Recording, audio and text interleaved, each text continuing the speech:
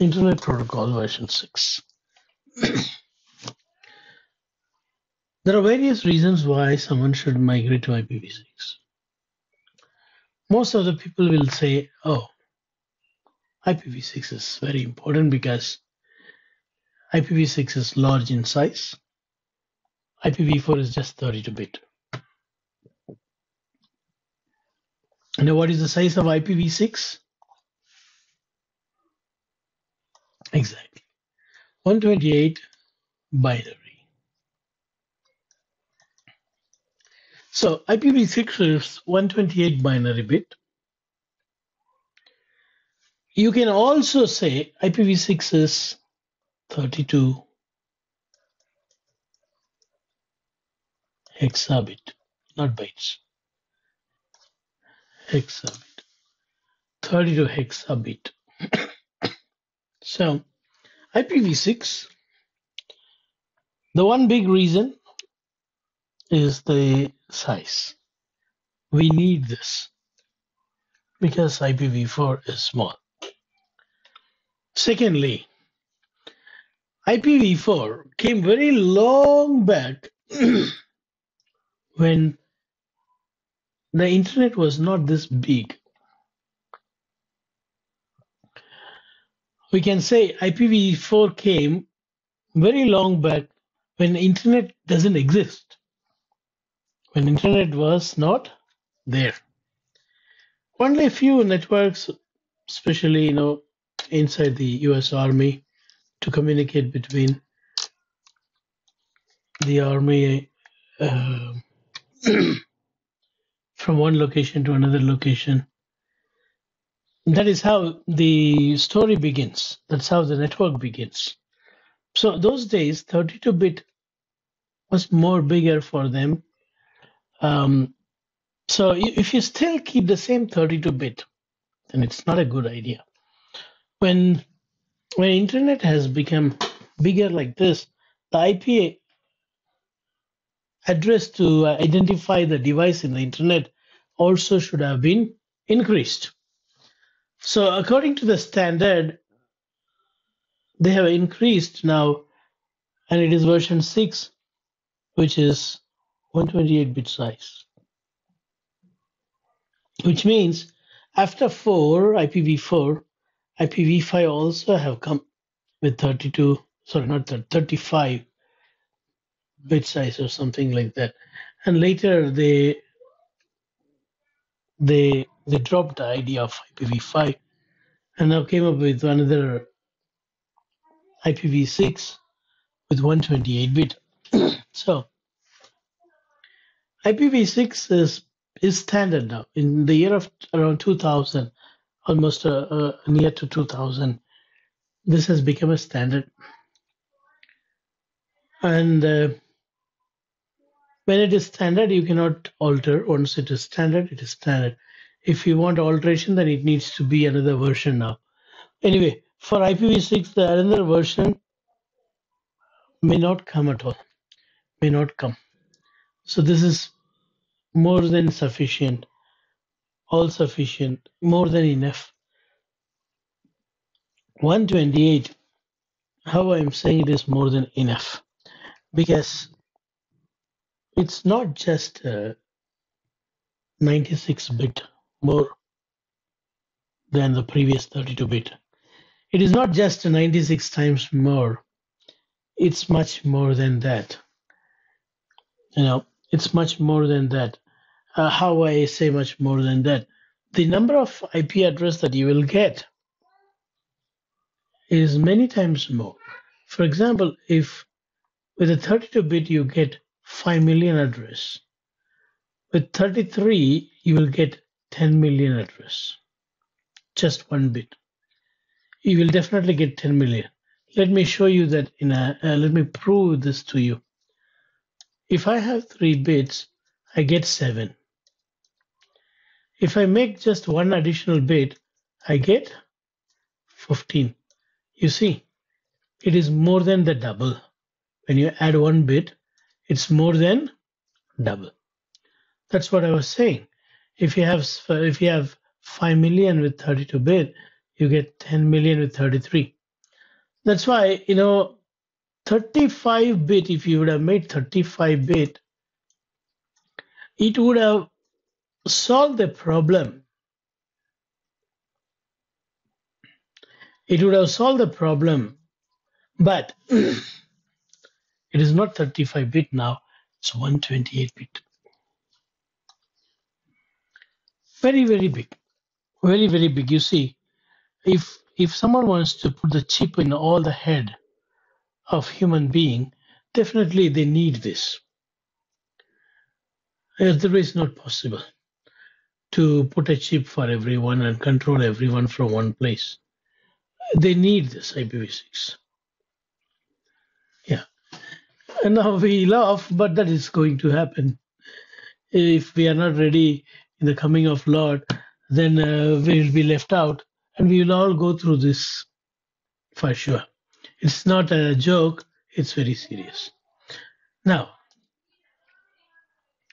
128 bit is very big.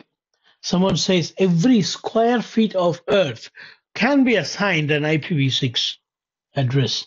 That big is this 128 bit address. Every square feet includes mountain, ocean, land, every place in the earth. Every nook and corner can be given an IPv6 address. So it's uh, it is very big. Next, the reason why again I have to go to this address. First one we saw size is bigger. We don't have enough IPv4 address. We need this. Secondly, we saw the IPv4 address was developed, was made standard when internet was not this big. So when the internet has gone bigger and with lot of application oriented um, network um, connection, application oriented uh, approach towards the network, all application centric when it is, you know, to buy a to buy ginger, you use application. To book an aeroplane, you use an application. For everything today, you use an application. Mm. So now definitely you need some improvement even in the address. So that's second reason. Third reason is there were there are a lot of wrong approach in uh, in discovering. For example if if a router wants to discover another router or a computer wants to discover another computer what do they do? They use ARP ARP is not a problem but the the way that ARP resolves the IP address into MAC address is not a good approach. It floods, it broadcasts. ARP uses layer 2 broadcast, which is very, very bad. Very easy for someone to know about our computer's unique identity. So that needs to be changed. Secondly, because of ARP, someone can even do man in the middle attack. So this type of vulnerability you have in this old approach, ARP. So IPv6, when you move to IPv6 layer 3 protocol, you got an answer for all this problem. What is it?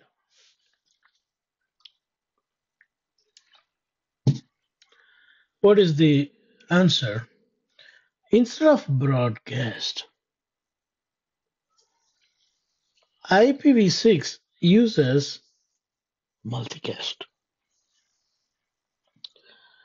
When it uses that multicast address to communicate, only the adjacent router can receive it. For example, if I am a router and you are another router, I'll use a multicast in which Robert is mentioned. When I use that multicast address and send the traffic to you, only Robert will be the member of the group, no one else. Others can't receive the packet, others cannot process the packet. Uh, only Robert can receive because that multicast address is to identify only Robert. So I learn what multicast address will speak only to you and using that multicast address I send my discovery thing. So that's how, you know, in short, I want to say it uses ICMP version 6, ICMP version 6, which uses a special address called link local address to discover neighbor.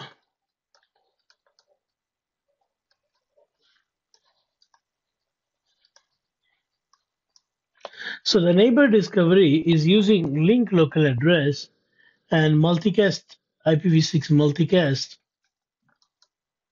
address and uh, ICMP version 6. So there is no mention about ARP. You know, there is no protocol called ARP. I repeat, I repeat, I repeat. There is no protocol called ARP in IPv6 you can very firmly, with confidence, you can tell someone that there is no ARP in IPv6. Then how the neighbor discovery is done is the next question. Answer is this. Using a link local address and the multicast address, ICMP version 6 discovers neighbor. Right? so next is when you take DHCP, you see, you can have stateful and stateless.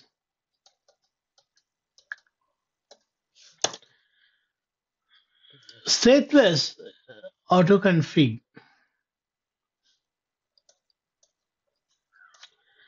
is very famous in IPv6.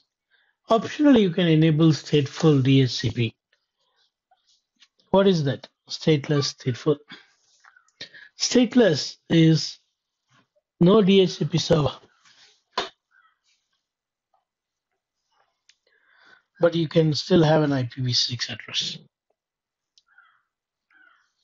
No DHCP server. Stateful is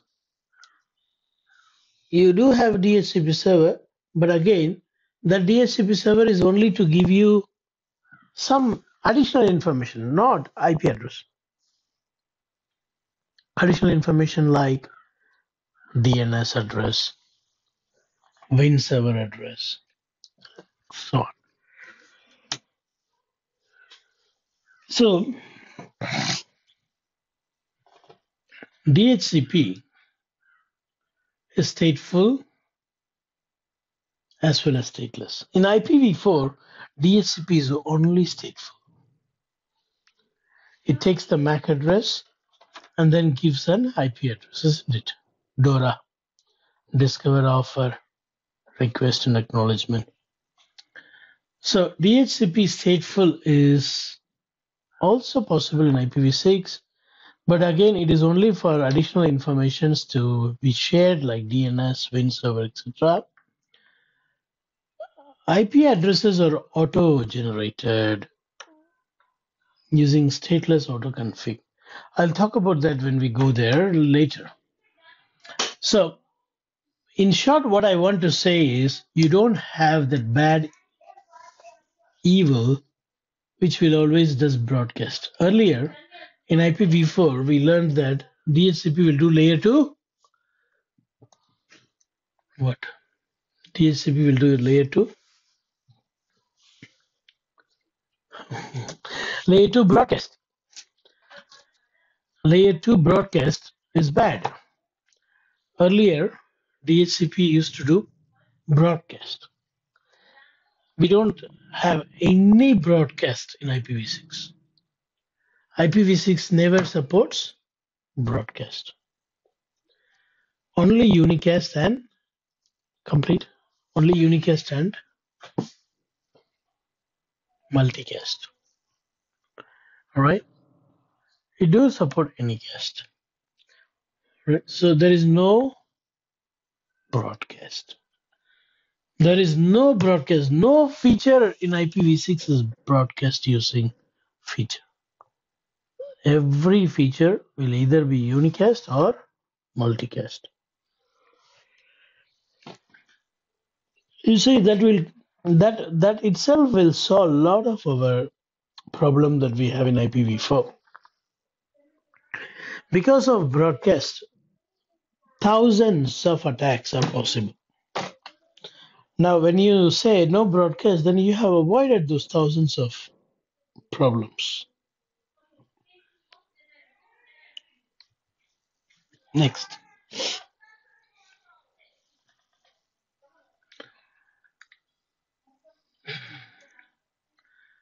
You know, IPv6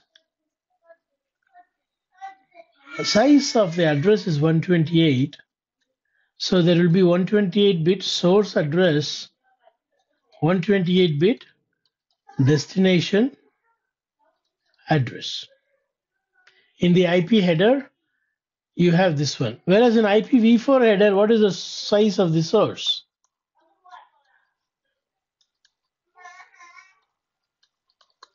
isn't it in IPv4, it was only 30 to 32 bit.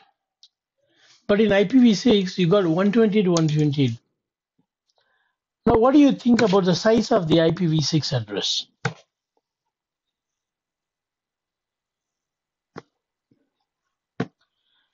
See, IPv4 is only 32 bit source and destination. IPv6 is 128 bit. So, is the size of the IPv4 header smaller compared to IPv6? Answer is no. Why? Why it is no? You see, this is only some additional bits. How many bits? 128 bits. But even though it is 128 bit, it is 32 Mm, only 32 bit, the size of IPv6 address is smaller comparatively. How? The IPv6 address is bigger, but the header in total, if you say the size of the header, it's not big. Why? IPv6 just in 2000 it has come. IPv4 ancient days like 70s, 1970s. So on those days, the IPv4 header they used to have they they they they, they kept a lot of field lot of fields uh, allocated for various xyz purpose but that xyz purpose have never come so far. But still, in those headers, those fields are still available, um, consuming the CPU and the size on every device as it get processed. You see, every IPv4 header every IPv4 header on every packet needs to get processed. If it is not a simplified header like IPv6, IPv6 header is simplified header. What do I mean by that? It has got just the necessary compartments, fields. Whereas IPv4 header has got lot of fields, lot of compartments, which is very rarely used. But the compartments are always there. So every time every single packet gets processed by the by the routing devices, by the receiving devices, by the sending devices all the time, which is an unnecessary CPU utilization. Let me quickly show you a picture. If you see here the field, number of field, if you notice, you don't have much here in IPv6. The number of fields are less. You see in IPv4, padding, options. What options? What padding? When do we use these options? Very rarely. Protocol. When do we use this? Only when you need OSPF. You will use that field. Otherwise, that field will be having junk values, which is processed by every device, thinking that something is there, but nothing is there. But it's an unnecessary CPU. So the the headers are too big and too many in IPv4. Whereas IPv6 is a simplified header. See, that's why they have put the word down below basic IPv6 header. What does that mean? It can be also advanced. In IP in IPv4, there is no basic, no advanced, always fixed. What do I what do I mean by advanced IPv6 header? What I mean is extendable. Whenever you need OSPF, you will add the protocol field. Whenever you need only, you will add it. You understand? Whenever, for, for example, I'm, I'm running OSPF. Do I have a field for protocol in this header, in IPv6 header? No. Do I have? Do I have a protocol field in IPv6 header? No. But when I enable OSPF, that field will get added. So for basic, this is what you need, basic. For normal IPv6 communication without any additional protocol, only this is what you need. Whereas in IPv4,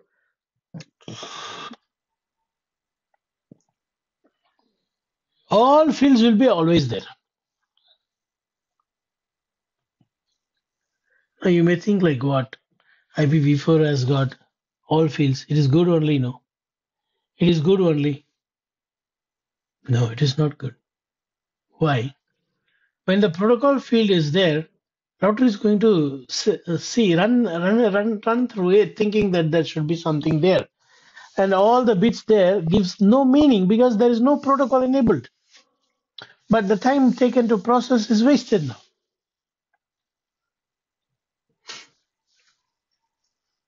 Right. You see, you go to the immigration office, you show only the necessary document. If you give everything in a big booklet, they'll get uh, very much angry. No, no, no, no. Bring the ticket, bring the invitation letter, bring the visa copy. That's all. That's all they, they want. But you know, IPv4 is like visa copy, passport, immigration letter, hotel booking, uh, taxi booking, and medical report, bank statement. what else? What? Sorry. Huh? Blood group. All reports. Which is not really needed. Which may be needed when you go to next counter, but not in this counter. Likewise, IPv6 header is a reasonable field, only necessary field in IPv6 header. Only the necessary field will be there. Additional fields, if it is, if it is needed, anytime it gets added. for example, you are doing IPsec.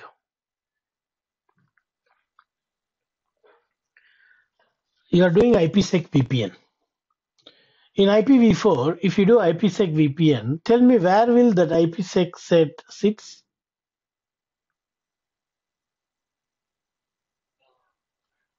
Hmm?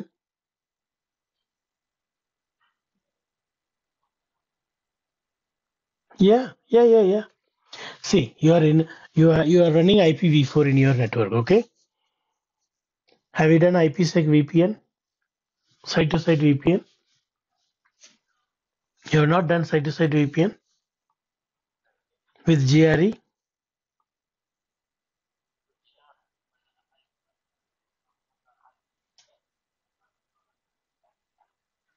That is what site to site. IPsec with GRE or crypto map.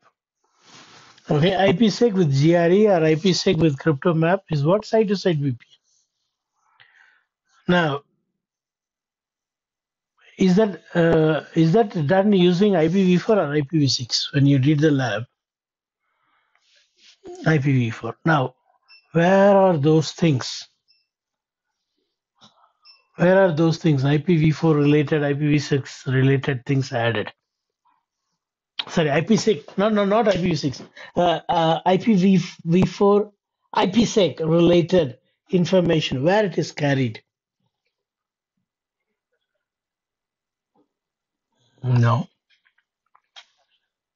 no.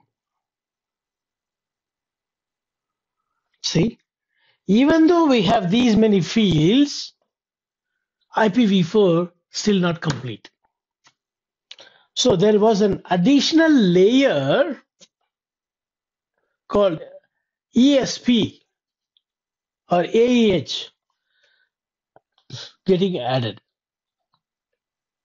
ESP is encapsulation security payload. If you capture one IPsec packet, if you capture one uh, packet uh, that goes in between two sites, you will see a new layer called ESP.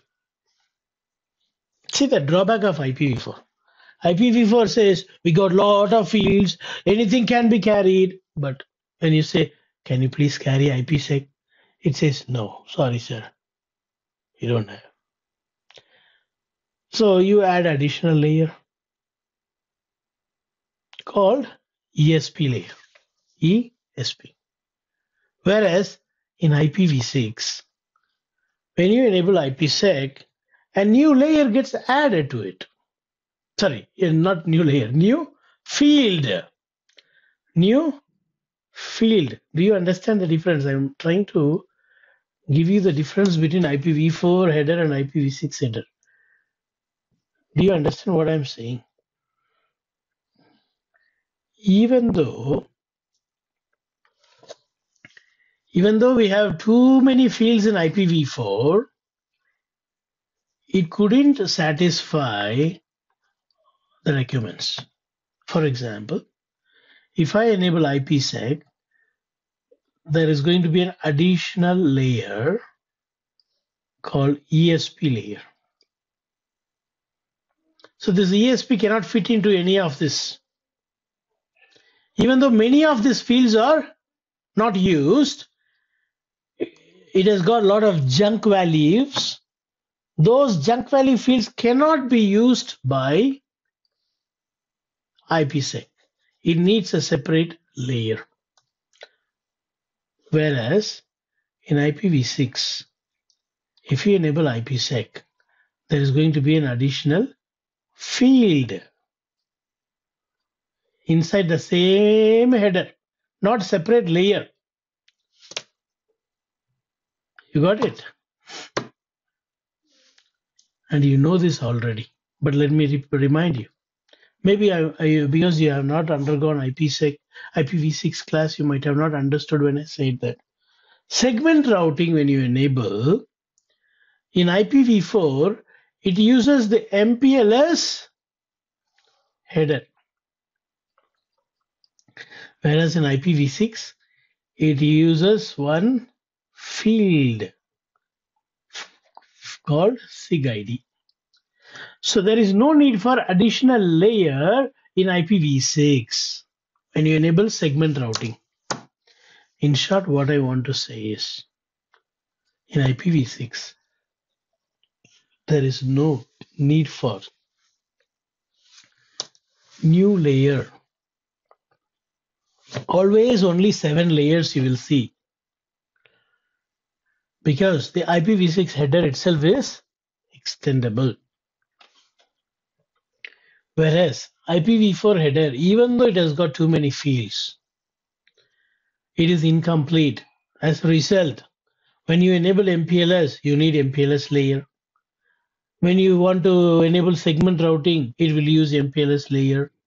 When you want to do IPsec VPN, it needs ESP layer. You understood? Like this, we have various reasons why I should migrate to IPv6. IPv4 is incomplete. IPv4 is um, not not to the mark for today's IT advancement. That's why we need IPv6. Right? We'll stop here.